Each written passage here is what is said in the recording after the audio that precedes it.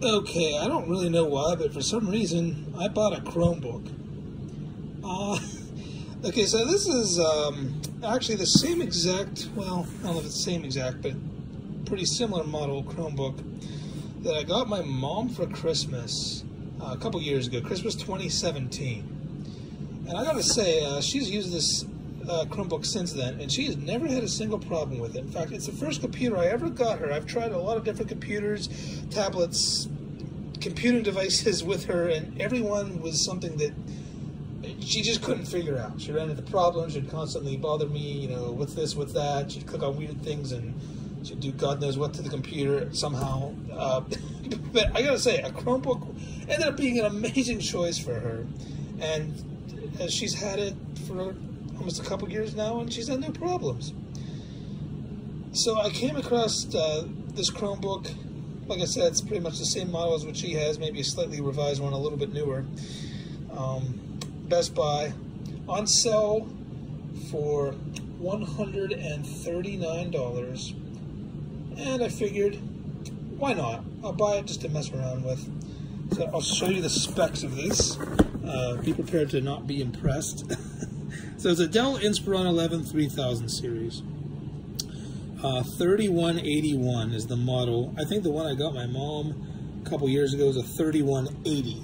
So I guess this is a slightly newer model. I don't know what changed, if anything, but um, anyway, the screen, I'll tell you right now, it's uh, not very impressive. They call it a 11.6 inch HD, but if it looks anything like the one that I got my mom, it's uh, it's it's it's not great. It's definitely the weaker point of the Chromebook. Um, it's not touch, not this price. Um, you get an Intel Celeron N3060 processor, so this is not an uh, ARM-based Chromebook. This is an Intel-based Chromebook, and that might be useful for um, a little more compatibility with installing Linux distros, because I do plan on installing Linux on this. That's one of the main reasons I bought this. And this model does have 4 gigs of RAM, which is honestly plenty for a Chromebook, and 32 gigs of eMMC flash. I could have went with 16 gigs. That's actually the size of the one that I got for my mom. And that one was on sale at Best Buy for $119. But for 139 I figured for 20 bucks more, it's probably worth it to go with a 32. Uh, because, like I said, I do want to install maybe Linux and dual boots, so that could take up more space. And yeah, so obviously, Chrome OS, mm, wireless, all that good stuff. So yeah, so the Dell Inspiron uh, 3000 series. I gotta say, it's not the prettiest Chromebook, but it is super durable and it's held up well. Uh, my mom had hers, and like I said, no problems with it at all. Um, this would be a great Chromebook to buy for the classroom, for a kid. I was just really impressed. It, it, it's, it's, you know, like I said, it's kind of chunky. It doesn't have the best display, but it holds up well. And um, really cheap, especially at the sell price. Like I said, I got mine, this 32 gig model for 139 at Best Buy. That's an $80 discount um, to what it normally is. Um, both this one and the $119 uh, 16 gig model were on sale for $80 off. So I figured I'd, I'd pick one up.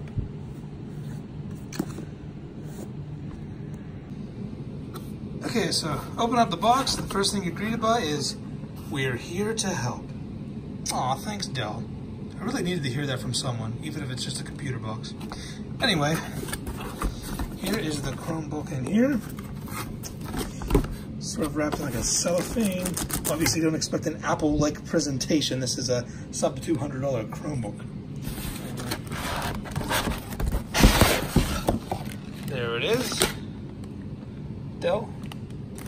These little cardboard doohickeys on the side.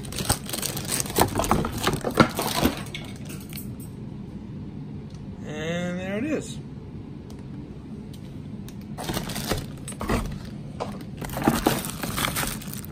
power cable, AC adapter, and documentation and whatnot. Giant silica packet. That's fun. And that's about it. Yeah, obviously pretty basic. and here it is the Inspiron 3000 series Chromebook. Nice little 11.6 inch Chromebook. Here it is, stacked up with a um, Dell Latitude. A Dell Latitude 14 inch business laptop. And here's a Chromebook. Obviously, you can see it's a good bit smaller and a lot thinner. Honestly, not a huge bit thinner. Like I said, this is kind of on the chunky side for a Chromebook. So there's the Chromebook, there's the Dell Latitude. So it's, yeah, it's thinner, but not a, it's still a little chunky for a Chromebook, but hey, it's durable. If this is being used in a classroom, if this is being used wherever Chromebooks are used, it's, uh, it's gonna have to take a beating. Like I said, my mom had hers for almost a couple years now, and it's been holding up fine. So, yeah, definitely a solid, durable Chromebook. Get nice rubberized it's like a rubberized uh, strip that goes across the length of the whole thing on the front and sides and back. Um, it's like a rubberized texture there. So, no, I, that's the first, the, even when I bought the one for my mom, from the start, I was really impressed with, for how cheap this was, how nice and durable the Chromebook felt. Um, so yeah, ports, that's where your power goes. That's where your SD card expansion goes. HDMI, a couple USB ports, nothing there. And you just have your headphone jack. And not sure what that is. Is it like a lock slot? Maybe. Not sure what that is. Can't tell. And yeah. But there it is. I guess I'll open it up. Opened it up. Let's see, I can't remember if this one turns on automatically when you open it. Maybe not. I'll press the power button.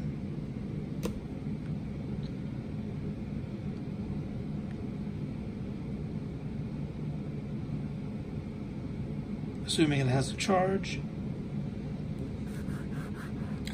You can see it is an Intel Chromebook.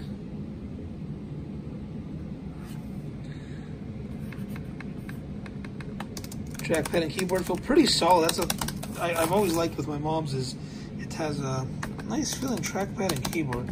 Like I said, for a under $200 Chromebook on sale, and when it's not on sale, it's um I think it's like 199 is the normal price for the 16 gig model. Um, still a good price. Um, I think when I bought my mom's in 2017, it was like two, I think two 30 something for it, so went down in price since then. To press and hold? So this isn't one to turn on. Might not have a charge out of the box. starting to look like that.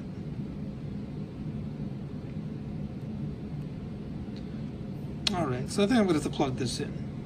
Okay, so I got it all plugged into power now.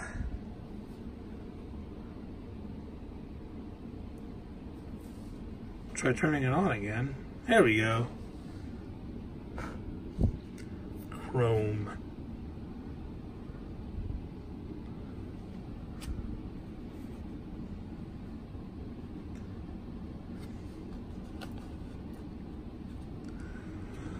Looking at the screen here, trying to tell if it uh, went up in quality at all since the one that I got from my mom. Uh, it doesn't look terrible, but I'd probably look at them side by side to compare. All right, so obviously I got this thing all, have to get it all set up. So I will do that and then get back to you once I do that. Okay, so I put on all put in all my personal information. So um, you have to sign into Wi-Fi, you have to sign into your Google account and all that great stuff. You have to click approve and accept all the things saying that you give permission to Google to spy on you. Uh, and uh, once you do that, it brings you to your desktop. A little thing popped up and said, uh, do you want to take a tour? And I said, yeah, sure, because why not? All right, so it's telling me, get my apps fast, use the launcher to quickly get new apps, blah, blah, blah. Okay, what else can I do? All right. Check your Chromebook status, that's fun. Okay.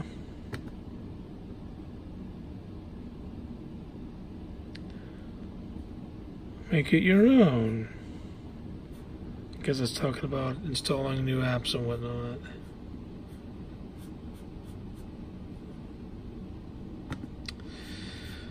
Okay, so basically, I'm not going to do like a full review of Chrome OS. I mean, it's you know, it is what it is. It, it's glorified Google Chrome, only it's a little bit more than that now because you know now you have the Play Store. So basically, it's um, Android, um, it's another variant of Linux. Uh, yeah, I mean it, it it's good for a lot of things. Not for everybody, not for a main computer, at least not for me. Uh, I mean, Chromebooks are a sensation in K through 12 education. Almost every school district is moving to Chromebooks. Um, uh, pretty soon, we're going to have generations of kids who really aren't even familiar with Mac or Windows uh, because they will have just used so much of Chrome OS. Um, yeah, Chromebooks are gaining ridiculous traction. They're a huge thing right now in schools. Um, so obviously in schools, K through 12, Chromebooks um, they're very practical computers. They're very practical for, well, like I said, my mom. For anyone who just needs a simple device that um, you can browse the web on, maybe run some apps. They're, I think they're really solid for what they are. Yeah, they're not going to replace gaming computers, not going to replace Macs for people who want MacBooks, not going to replace high-end Windows laptops. Now, obviously, there's a lot of things they can't do, but I mean, there's a lot of things they can do, and I think there's a lot of people that could get by with a Chromebook as their main computer. Like I said, for something to just play around with, I mean, this cost $139, and uh, it's a it's Dell Inspiron 3000 series Chromebook. I would highly recommend them because for the price, I think you get a really solid Chromebook. Like I said, my mom, I got her one almost two years ago for Christmas. It's still holding up perfectly fine today. She hasn't any problems with it physically or software-wise. Chrome OS is pretty autonomous. It takes care of itself. It updates itself. So you don't have to worry about viruses. You don't have to worry about things getting out of date and insecure. Like I said, it's great for someone like my mom who's pretty computer illiterate. Um, I really couldn't be happier with it for for that purpose, for it being her computer. She has had no problems with it. And yeah, like I said, for the price, this is a solid little Chromebook. I plan on just, you know, messing around with it, just familiarize myself with Chrome OS because I really haven't used it that much. I plan on running some uh, Linux on here alongside Chrome, on, Chrome OS. Um, maybe installing some Android apps. Yeah, just um, it's a cheap, solid little computer. And if the one that I got from my mom is any any indication, it should hold up pretty darn well. So it's pretty impressive for what it is. I mean, I I do really love Dell products, and I think uh, they make a pretty solid little Chromebook. Like I said, it's not the flashiest, not the thinnest or lightest. The screen isn't too great. It's just a TN panel that has pretty poor off-axis viewing. It's not touchscreen, but it's a sturdy little, rugged little Chromebook, and for a really good price. So if you're looking for a Chromebook just to mess around with, have some fun with, like I said, it's Intel based, so I feel like there's a lot more Linux distros compatible with Intel as opposed to ARM. Although there are a lot for ARM too, but still, I think the um, Dell Inspiron 3000 series is a great choice for a cheap Chromebook that you just want to mess around with and have some fun. I think it's great for students in K through 12 education, and I think it'd be great for parents or anyone who uh, not very good with computers or just wants a really simplified um, computer using experience. I mean, yeah, my biggest concern would be, yeah, it's it's Google, and um, of course they do some things that might not be so so great as far as security and collecting data and whatnot, but yeah, it's the price you pay, you get, I guess. But yeah, so I would recommend one of these.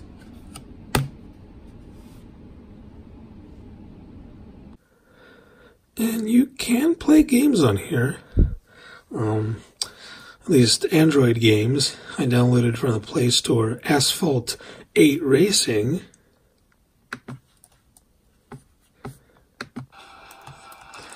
it actually runs quite well. It looks fine. There's not really frame drops.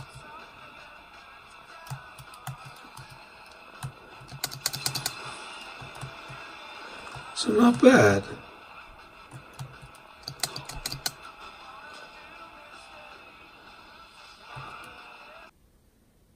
So I will say these days with um, Google Play Store and Android integration, Chromebooks are more useful than they have ever been.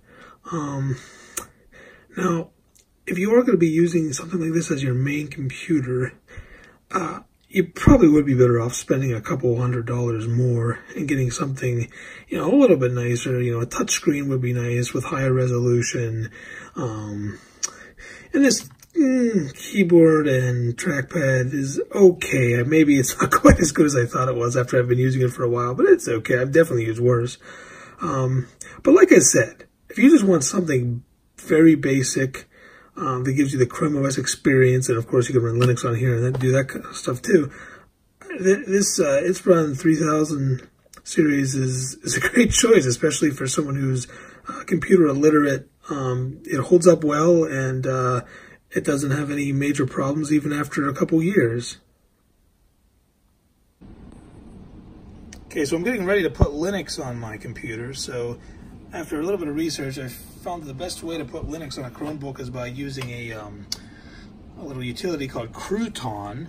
So if you just search uh, Crouton for Chromebook, search that and, and you'll find um, instructions on how to go about setting up Crouton and run Linux on your system.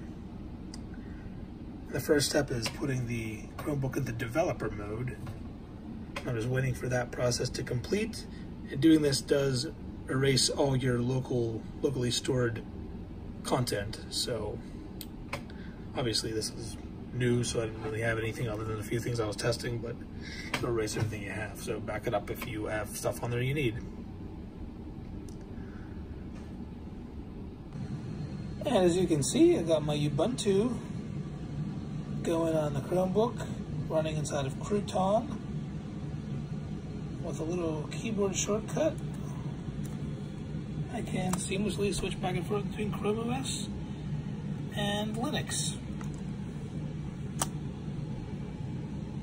There I am back in the Linux. So yeah, uh, Crouton is definitely cool. If you get a Chromebook, it's a fun thing to mess around with if you would like to use Linux.